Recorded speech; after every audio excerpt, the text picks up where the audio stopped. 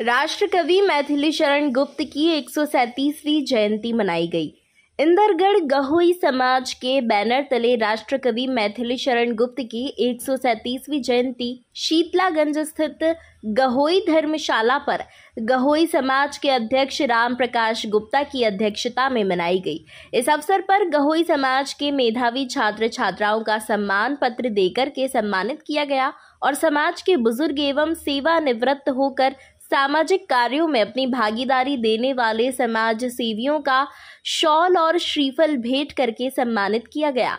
मुख्य वक्ता गहुई वैश्य समाज के राष्ट्रीय अध्यक्ष के खड्डल ने राष्ट्र कवि मैथिली शरण गुप्त के जीवन में प्रकाश डालते हुए कहा कि हम सबको राष्ट्र कवि के बताए मार्ग पर चलना चाहिए और अपने बच्चों को शिक्षित करने और सामाजिक कार्यों में सहभागी बनने के साथ साथ समाज में व्याप्त कुरीतियों को दूर करने में सहयोग करने का संकल्प लेना चाहिए।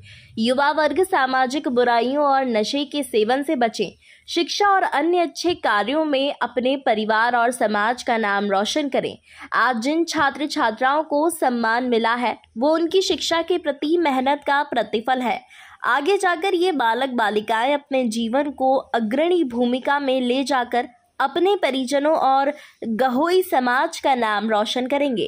कार्यक्रम का शुभारंभ राष्ट्र कवि के चित्र पर माल्यार्पण कर मुख्य अतिथि गहोई वैश्य समाज के राष्ट्रीय अध्यक्ष के के कट्ठल तथा अध्यक्षता गोहाई समाज अध्यक्ष राम प्रकाश गुप्ता द्वारा किया गया।